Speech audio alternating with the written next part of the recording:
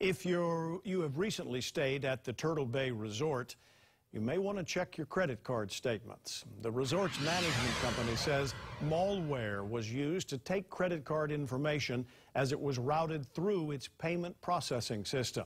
If you used your credit card at Turtle Bay between October 23rd last year and January 1st this year, you may be affected. You're advised to report any unauthorized purchases to your credit card company. A 10-year-old boy suffered cardiac arrest, and doctors only gave him a 5% chance of survival. Poukihi Awai pulled through and is now recovering. His father wanted to share his son's story of what's being called a miracle. It's also turning into something of a crusade to make sure life-saving devices are available so other young victims have the same outcome. Alexander Zanes has a story you'll see only on KHON2. Alexander? Joe, doctors put Poukihi in a chemically induced paralysis and sedation. He didn't wake up for over four days, and doctors said it was uncertain if he would.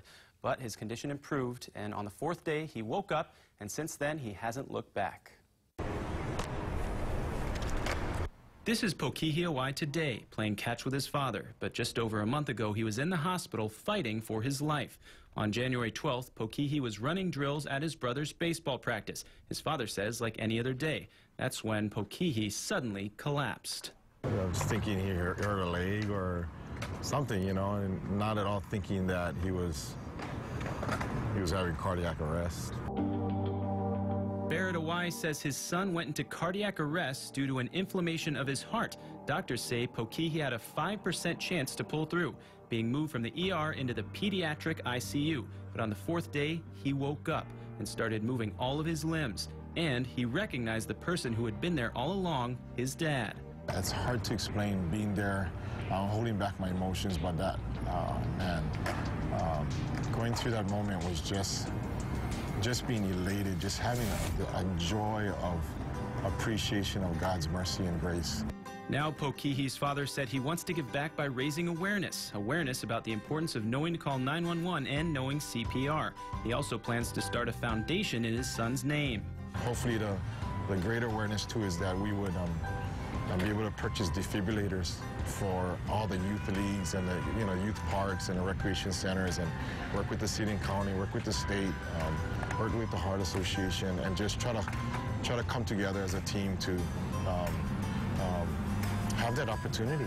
As for Poukihi, he's back throwing strikes. In fact, the University of Hawaii baseball team visited him in the hospital. And now, fully recovered, he will throw out the first pitch at tomorrow's game versus San Francisco. I asked him how he feels. Happy and exhausted. Yeah, and Barrett Awai says he's going to work to set up a nonprofit to put automatic external defibrillators into the hands of community members and sports leagues and is working to make sure everyone knows CPR. For Poukihi, it's back to baseball, and you can bet the ovation when he takes the field tomorrow will be one of the loudest of the night. Alexander Zanes, KHON 2 News.